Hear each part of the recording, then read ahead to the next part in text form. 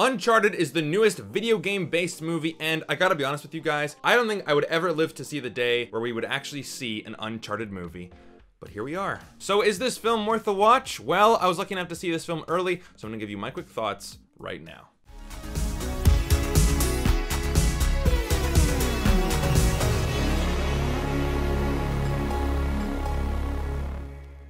Hey guys, my name is Brandon, aka the Brando Critic, and I want to say thank you so much for being here, clicking on this video. I'm sending a ton of positive vibes your way. Today I'm going to give you my honest, no BS, non-spoiler review for Uncharted and let you know if it's worth a watch today. If you want to support the channel, then definitely hit like and subscribe, but if you really want to support the channel and join an exclusive community, then go follow me on Patreon. Link is down below. As well as the link to my partners at Movie Scene Canada, make sure you check them out as well. So, we have Uncharted from director Ruben Fleischer, and you know him from such films as Venom, both Zombieland films, 30 Minutes or Less, and Gangster Squad. And the film stars Tom Holland, Antonio Banderas, Mark Wahlberg, Tati Gabrielle, and Sophia Ali, and it's about Nathan Drake and Sully searching for the lost pirate's gold. That's all you really need to know about the plot. But is this movie worth a watch today? If you're a fan of the games, I'm gonna say yes. Now, this movie is nothing groundbreaking. And yes, I'll be honest that there are many parts in this movie I found to be quite uneven and rather predictable. But I'm a fan of Indiana Jones, I'm a fan of Mission Impossible, and I'm a fan of National Treasure.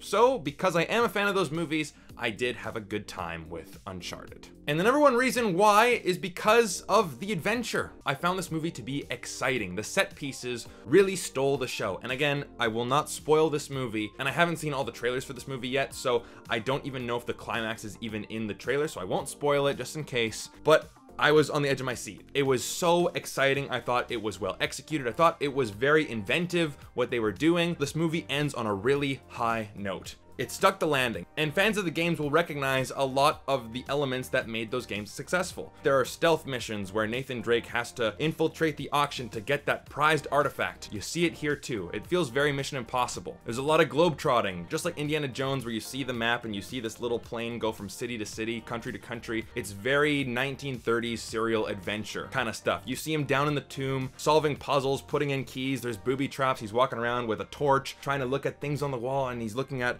his artifact book and he's like, oh yeah, see, they were down here. The treasure map leads to here. I love all that stuff. I find that stuff just so much fun. Like The Mummy, for example, right? Even though those movies aren't particularly great, they're a lot of fun because of those reasons. There's a lot of fun, inventive hand-to-hand -hand combat. You see Nathan Drake jumping from ledge to ledge. It's all here. And of course, you get a ton of treasure as well. You do hear the Uncharted theme once. Again, these are just things that are gonna please the fan base. They pleased me, and I think that the action set pieces are really the highlights of this movie. And we are in these action set pieces with Nathan Drake and Sully, played by Tom Holland and Mark Wahlberg. I really think that their chemistry really elevates this movie. And yes, when I saw Tom Holland as Nathan Drake, I'm like, really? Is he too young? But throughout the rest of the movie, he really did win me over. And as a first mission kind of movie, I think he really did well in the part, and I hope he actually grows into this role. And yes, that means that I do want to see more Uncharted movies. But Mark Wahlberg really impressed me as well, and he kind of has that like grizzled old timer type of feel and really showing Nathan Drake the ropes. I thought their chemistry was great. I would love to see them more in more Uncharted sequels. So those two characters are really great, and the action set pieces and the spectacle and everything that made the games fun is here. Unfortunately though, everything else is just meh. It's okay. It's okay. Now, I knew exactly what kind of film I was going to get right as soon as you see the flashback with young Nathan Drake and his brother in the orphanage. And as soon as they were talking about like, you know what, this ring means so much to me and I never go anywhere without it, so I'm gonna give it to you so that we never forget each other. And I'm like, I know exactly what I'm gonna get with this movie because that felt very cheesy and ham-fisted. Again, nothing terrible. You know, I wasn't cringing, but I'm like, okay, this movie's gonna be very bare bones, basic, paint by numbers. I know exactly what I'm gonna get, and this is what I got. We got a villain played by Antonio Banderas who really was just a placeholder with no stakes, no tension, no threat. He's just there because we need an opposing force. So Antonio Banderas, yes, we got the Spaniard in there. He could have been fun, but I felt like he was really wasted potential. And because of that, there is no drama. I really do think that there's more drama between the characters in the games than in the movie. And of course we get a love interest, but again, you see some flirtation here and there, you get some double crosses, right? Like, you know you're gonna get some double crosses in this movie. And none of them are surprising really. You can see them coming from a mile away. And the story overall is very predictable, with some moments where I'm even questioning the logic of the movie. Not the physics of the movie, because of course you have Nathan Drake jumping from thing to thing to thing. That is kind of fine, right? Like this is a movie based on a video game, but even still, like some of the motivations of the characters and some things where I'm like, wait a minute, hold on a second. You're telling me that that is gonna happen like that?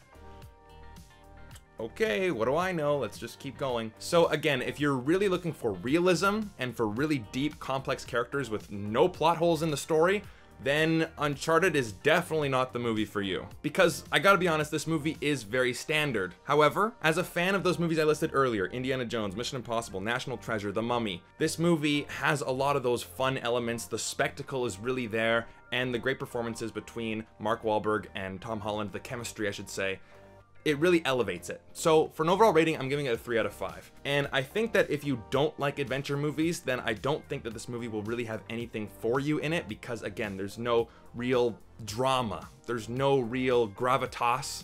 This is just kind of a I don't want to say a love letter to Uncharted fans. I think this is more like a hey, we know that you like this game, so here's a little movie to add as a complimentary piece to your love of this franchise.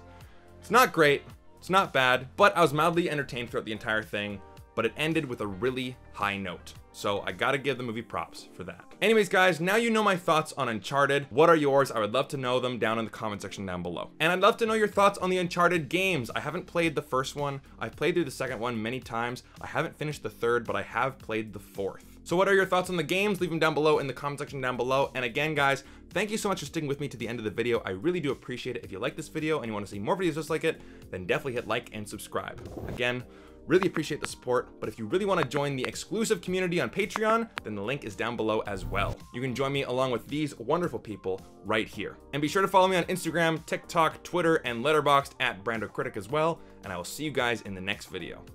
Take care.